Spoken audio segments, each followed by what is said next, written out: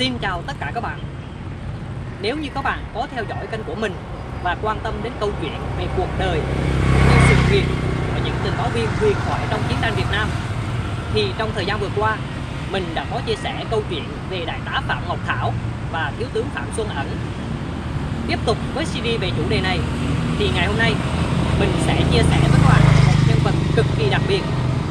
Đó chính là thiếu tướng tình báo Vũ Ngọc Nhạ ông còn có biệt danh là ông cố vấn bởi vì ông đã từng làm cố vấn cho những chính trị gia cao cấp nhất của chính quyền Việt Nam Cộng Hòa.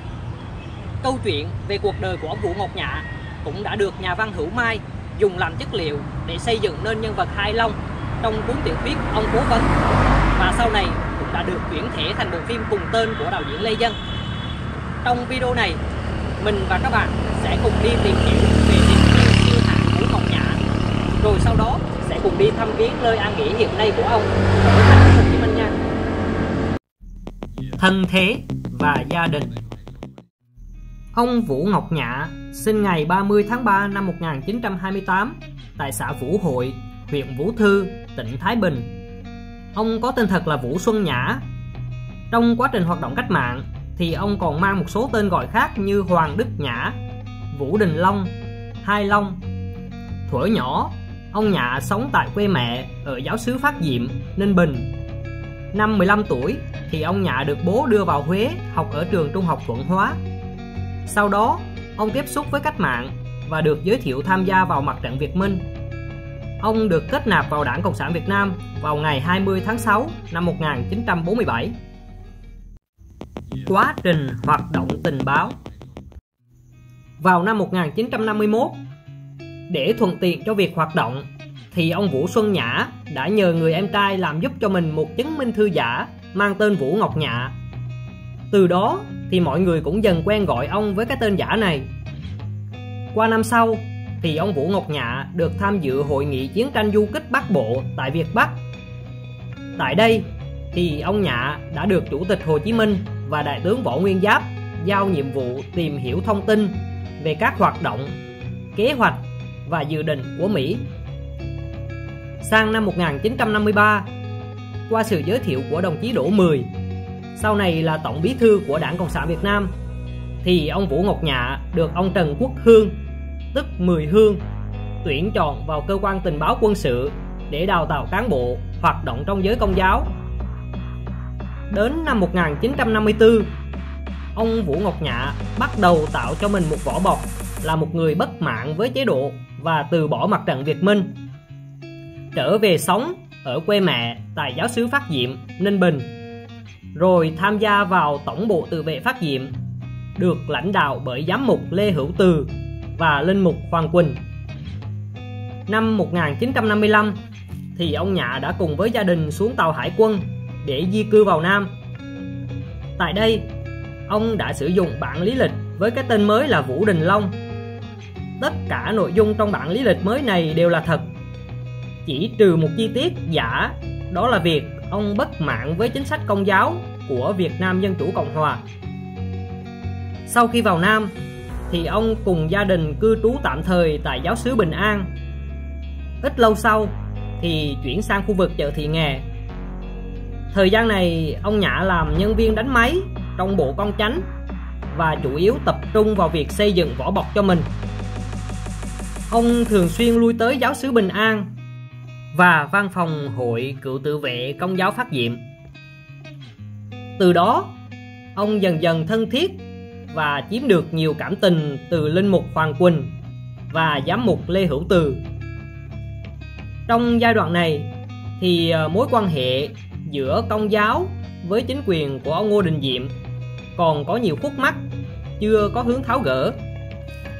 Nhân cơ hội này thì ông Vũ Ngọc Nhạ đã đứng ra làm người trung gian hòa giải giữa giới công giáo và chính quyền của ông Ngô Đình Diệm. Từ đó, ông Nhạ đã chiếm được cảm tình của cả hai bên. Kế hoạch tạo vỏ bọc đang diễn ra rất thuận lợi và suôn sẻ. Thì đến tháng 12 năm 1958, ông Vũ Ngọc Nhạ bị một nhân viên phản gián thuộc đoàn công tác đặc biệt miền Trung nhận diện. Sau đó, ông Nhạ đã bị bắt giữ và bị giam ở tòa Khâm Huế để chờ xác minh.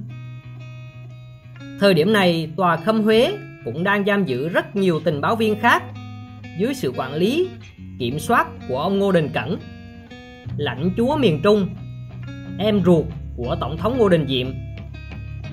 Do là người theo đạo công giáo nên mặc dù đang bị giam giữ nhưng ông Vũ Ngọc Nhạ vẫn được đi lễ nhà thờ vào ngày Chủ nhật hàng tuần. Đây chính là cơ hội để ông Vũ Ngọc Nhạ có thể tiếp cận và tạo lòng tin đối với ông Ngô Đình Cẩn. Cuối năm 1959, ông Vũ Ngọc Nhạ đã viết một tờ trình bốn nguy cơ đe dọa chế độ để gửi cho ông Ngô Đình Cẩn.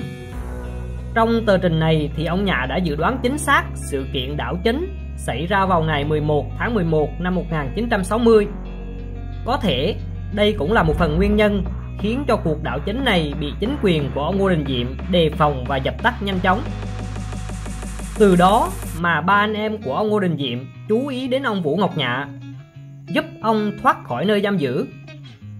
Sau đó, ông Nhạ được ông Ngô Đình Diệm sử dụng làm cầu nối giữa chính quyền Việt Nam Cộng Hòa và khối công giáo di cư. Cũng từ đây, ông Vũ Ngọc Nhạ được gọi với biệt danh ông cố vấn, được anh em Tổng thống Ngô Đình Diệm nể trọng, rồi trở thành người tâm phúc. Từ đó mà ông Nhạ được tham gia nhiều cuộc họp quan trọng để bàn bạc những công việc, những vấn đề cơ mật. Đến đây thì có thể nói ông Vũ Ngọc Nhạ đã đạt được mục đích chui sâu, leo cao vào trong hàng ngũ cao cấp nhất của chính quyền Việt Nam Cộng Hòa. Chính vì vậy mà những tin tức, những tài liệu mà ông Vũ Ngọc Nhạ có được là cực kỳ quan trọng, tuyệt mật, có giá trị để chuyển ngược về căn cứ.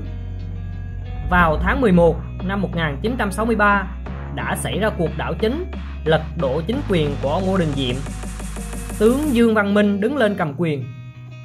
Ông Vũ Ngọc Nhạ lui về hoạt động ở giáo xứ Bình An. Cuối năm 1965, nhóm tướng trẻ xảy ra cuộc tranh giành quyền lực rất quyết liệt. Ông Vũ Ngọc Nhạ được ủy quyền đại diện cho khối công giáo ủng hộ ông Nguyễn Văn Thiệu lên làm tổng thống. Sau khi đắc cử tổng thống vào năm 1967, ông Nguyễn Văn Thiệu đã mời ông Vũ Ngọc Nhạ làm cố vấn đặc biệt cho mình. Nhờ vậy mà ông Nhạ tiếp tục có cơ hội tạo dựng thêm các mối quan hệ và gây tầm ảnh hưởng đến các chính trị gia trong dân sự lẫn quân sự. Để khai thác triệt để sức ảnh hưởng cũng như tạo nguồn thông tin lớn hơn thì ông Vũ Ngọc Nhạ đã tham gia xây dựng cụm tình báo chiến lược A22 do chính ông làm cụm phó. Ban đầu thì cụm tình báo có thêm ông Vũ Xuân Hòe, Vũ Hữu Duật, rồi Nguyễn Xuân Đồng. Đến năm 1967 thì cụm bổ sung thêm ông Lê Hữu Thúy. Đây là một điệp viên cũng rất nổi tiếng trong cụm tình báo A22. Thành công lớn nhất của cụm tình báo A22 đó là đưa được ông Huỳnh Văn Trọng vào làm phụ tá cho Tổng thống Nguyễn Văn Thiệu. Từ đó mà những thông tin tình báo chiến lược được thu thập một cách đầy đủ, chi tiết và chính xác hơn. Theo bộ hồ sơ của nha Tổng Giám đốc Cảnh sát Quốc gia thì cụm tình báo A22 là tổ điệp báo thành công ngoài sức tưởng tượng. Được nhìn nhận là huyền diệu và xuất sắc cả về mặt tổ chức lẫn hoạt động. Chính vì vậy mà những tin tức tình báo của cụm tình báo A22 chuyển về căn cứ đã giúp cho phía Việt Nam Dân Chủ Cộng Hòa có những đối sách phù hợp trong chiến dịch Tết Mậu Thân năm 1968. Vào năm 1969 thì cấp trên ra chỉ thị thành lập một chính phủ mới với những vị trí chủ chốt được những thành viên trong cụm tình báo A22 nắm giữ. Cụ thể, ông Huỳnh Văn Trọng làm thủ tướng. Ông Vũ Hữu Duật làm bộ trưởng chính trị. Ông Vũ Xuân Hà làm bộ trưởng kinh tế. Ông Lê Hữu Thúy làm bộ trưởng thông tin chiêu hồi. Tuy nhiên, kế hoạch này không thành công do hoạt động điều tra phản gián của CIA mặc dù cụm tình báo A22 được xây dựng và hoạt động một cách rất chặt chẽ và hiệu quả nhưng cũng không thể tránh khỏi việc bị đối phương nghi ngờ. Do đó, cơ quan CIA đã tiến hành một cuộc điều tra và lật lại hồ sơ của những điệp viên đã từng bị giam giữ ở tòa khâm Huế. Sau hơn một năm điều tra, thu thập chứng cứ, thì đơn vị có mật danh S2B đã tiến hành bắt giữ gần như toàn bộ thành viên trong cụm tình báo A22 vào tháng 7 năm 1969. Vụ án này đã gây rúng động dư luận vào thời điểm đó khi có đến 42 người bị bắt giữ. Cụm tình báo A22 gần như bị phá vỡ hoàn toàn. Khi vụ án được đưa ra xét xử vào tháng 11 năm 1969, báo giới Sài Gòn đã mệnh danh đây là vụ án chính trị của thế kỷ hay vụ án gián điệp lớn nhất thời đại. Nếu như bị khép tội gián điệp thì các thành viên của cụm tình báo A22 có thể bị kết án tử hình. Tuy nhiên, do không có đủ bằng chứng thuyết phục, nên Tòa án quân sự vùng 3 chiến thuật đã tuyên phạt các nghi can mức án từ 5 năm đến tù trung thân khổ sai, rồi đưa đi giam giữ ở Côn Đảo. Mặc dù đã bị bắt giữ và xét xử, nhưng việc vẫn giữ được tính mạng của tất cả các thành viên cũng được xem là một thành công rất lớn của cụm tình báo A22. Tuy vụ án đã chính thức khép lại, nhưng những thông tin quan trọng, tuyệt mật trong chính quyền Việt Nam Cộng Hòa vẫn tiếp tục bị rò rỉ. Chính điều này đã khiến cho Tổng thống Nguyễn Văn Thiệu tin rằng vụ án trên chỉ là một âm mưu chính trị do CIA dàn dựng nhằm mục đích hạ bệ uy tín của ông Thiệu. Do đó mà những thành viên của cụm tình báo A22 vẫn được chính quyền của ông Thiệu đối xử tử tế. Đầu năm 1973, ông Vũ Ngọc Nhạ được đưa về khám chí hòa để quản thúc theo quy chế tù chính trị. Trong thời gian này, lợi dụng sự ảnh hưởng của mình cộng với sự giúp đỡ của linh mục Hoàng Quỳnh thì ông Vũ Ngọc Nhạ đã nối lại mối quan hệ với các tổ chức chính trị thuộc lực lượng thứ ba do tướng Dương Văn Minh cầm đầu. Đến ngày 23 tháng 7 năm 1973, với ý định đẩy ông Vũ Ngọc Nhạ ra xa Sài Gòn, thì chính phủ Việt Nam Cộng Hòa đã trao trả ông Nhạ cho mặt trận dân tộc giải phóng miền Nam Việt Nam tại Lộc Ninh. Đầu năm 1974, sau khi đã xác minh thông tin thì ông Nhạ được khôi phục hoạt động và mang quân hàm Trung tá Quân đội Nhân dân Việt Nam. Sau đó, ông Nhạ nhận quyết định khen thưởng về thành tích đặc biệt xuất sắc của cụm tình báo A22. Đồng thời, ông cũng bị kỷ luật cảnh cáo khi để mạng lưới tình báo này bị phá vỡ. Tháng 1 năm 1945, ông Vũ Ngọc Nhạ trở lại Sài Gòn sống bất hợp pháp và hoạt động với tư cách là một đại biểu công giáo. Trong ngày 30 tháng 4 năm 1975, ông cùng với tướng Dương Văn Minh đã trực tiếp chứng kiến những giây phút cuối cùng của chính quyền Việt Nam Cộng Hòa khi hai chiếc xe tăng của quân đội nhân dân Việt Nam hút đổ cánh cổng để tiến vào dinh độc lập. Hoạt động sau năm 1975 Sau năm 1975 thì thân phận của ông Vũ Ngọc Nhạ vẫn chưa được xác nhận. Đến năm 1976 thì ông Nhạ mới được điều về làm chuyên viên cục 2 và mang quân hàm thượng tá. Năm 1981, ông Nhạ được thăng quân hàm đại tá.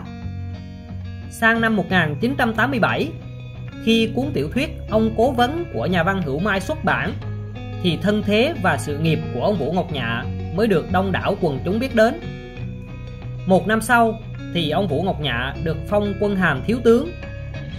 Ngoài ra, ông còn được nhà nước trao tặng rất nhiều huân chương cao quý khác.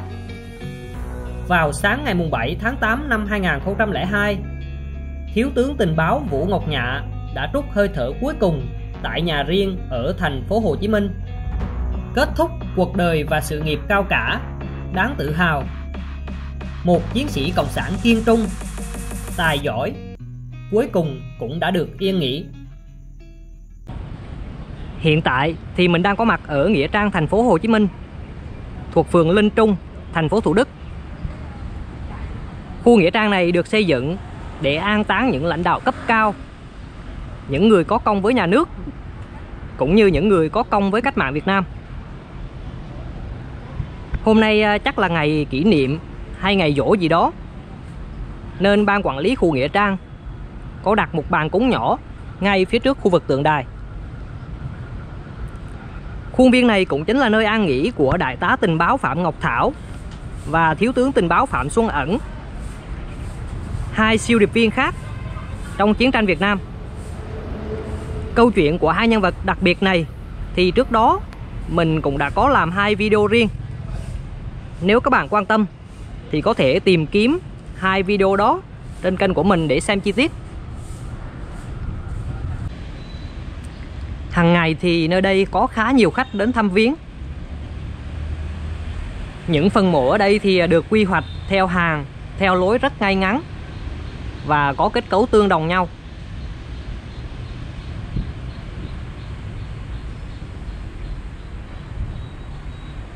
Khuôn viên cũng rất là rộng và xanh mát.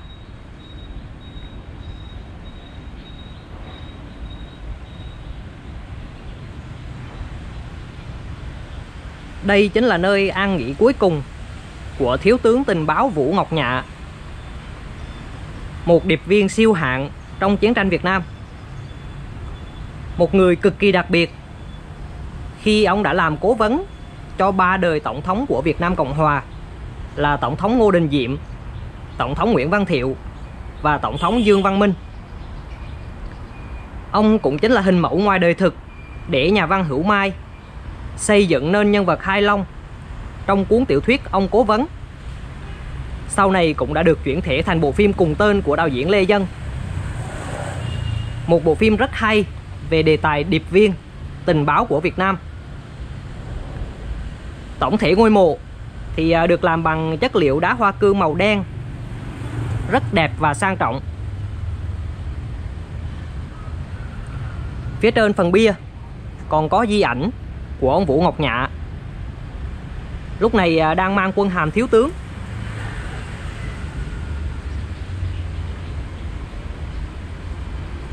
Xung quanh phần mộ thì à, được trang trí rất là nhiều cây cảnh. Nổi bật nhất là hai cây dao, hay còn gọi là cây xương cá, được trồng ở hai bên. Nhìn cũng rất đẹp và ấn tượng. Nói về ông Vũ Ngọc Nhạ thì ông là một người có lối sống thanh cao, trong sạch. Mặc dù à, gia cảnh khó khăn nhưng ông luôn luôn làm việc không màng danh lợi và không bao giờ nhận hối lộ công việc cá nhân rất là bận rộn, nhưng hàng ngày thì à, ông vẫn phụ vợ, chở rau ra chợ bán để trang trải kinh tế gia đình. Cơ quan CIA đã nhiều lần tỏ ý muốn giúp đỡ về mặt tiền bạc, nhưng đều bị ông Nhã từ chối. Chính vì vậy mà ông bị nghi ngờ là cộng sản. Bởi vì chỉ có cộng sản mới làm việc không vì tiền, cũng không vì tình. Chính cấp trên của ông Vũ Ngọc Nhạ cũng không thể ngờ ông lại có thể diễn xuất hóa thân một cách hoàn hảo và xuất sắc như vậy